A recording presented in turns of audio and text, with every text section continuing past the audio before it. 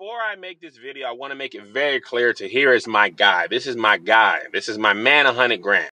This is the 100 grand that he's thinking of. If I say he's my man 100 grand, but I digress. This is my Man.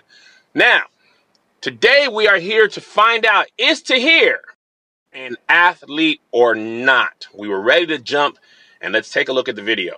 Now he's trying to be athletic, but as you can see, if we just circle here, the problem is he has bona fide grade A prime titties. He got titty meat everywhere. Titty meat. Now, as you can see here, we're going to just point out his arms are in a position that he thinks is going to help him jump. But is it going to do anything? The answer is no. And you want to know why those arms revving up and getting ready to gather the momentum are not going to help? It's because of the aforementioned titties.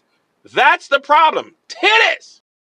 At his face here. This man, listen, this is the face of a guy who thinks he's about to do something athletic. Look at the look at the determination. Look at the testicular fortitude. Look at the I am ready.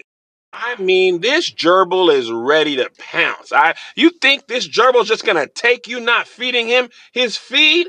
Oh, you're gonna come near this cage and my hay's not set up just so? I'm finna jump. I'm finna pounce. I'm finna scratch and claw. But absolutely nothing is going to happen. oh man, he really thought he was finna do something, didn't he, folks? Here's what you get when you're done.